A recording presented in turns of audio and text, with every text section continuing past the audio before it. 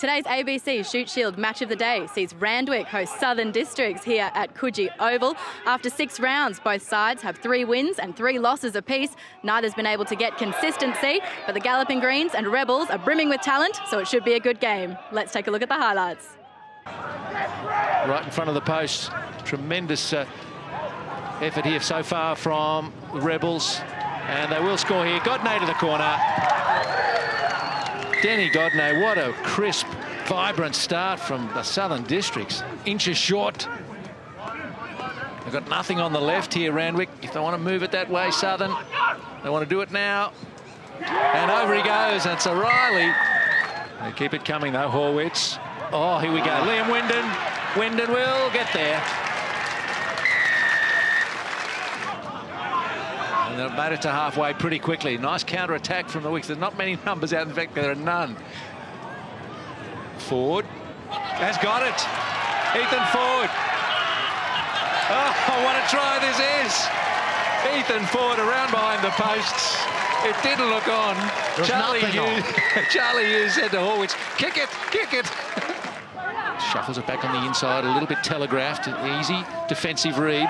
Numbers to the left, right. Got the pass away and into the corner goes Sam Fig. He's happy with it. And it looked flat. Holloway. Oh, that's a penalty coming for the Rebels. He fell into that a little. Jolted his head back, didn't it? Godney. Williams. Richie Williams not quite through the tackle. Quick hands, Connolly. And there are some chases here. Connolly. Connolly! How about that one? From nothing. That And will give them the lead. Important throw in. They've got it nicely. So two minutes to see this out. Just That's hold it. Two minutes of pick and drive. Well, they can't just hold it because the ref will tell them to use it. But sim simple footy here. Jed Holloway straight up the middle. Holloway striding towards the line. And Randwick utterly at the wrong end if they're to rescue this. And plenty of numbers. They should score here. They should score. Connolly! And Godinay gets a second, and that will wrap it up.